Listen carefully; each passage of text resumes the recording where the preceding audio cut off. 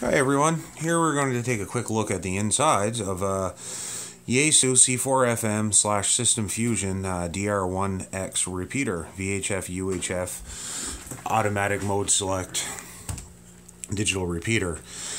And uh, this is one that belongs to my local club. And uh, I've got it on my bench here um, to try to get a firmware update installed on it. And uh, if you take a quick look here, you see both radios, one on the left and one on the right. The one on the left is a receive radio, the one on the right is a transmit. And uh, they're basically um, both uh, just the uh, FTM 400s.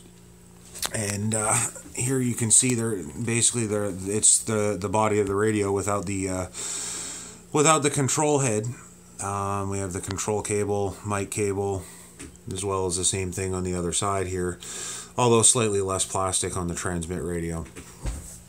And uh, just to give you a quick look here, and these can be powered via either 12 volts DC or um, the uh, 120 volt AC.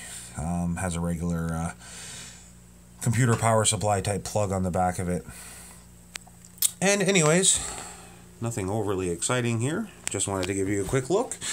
And we're going to try to get it on a get a firmware upgrade on this uh, update on it there a little bit later.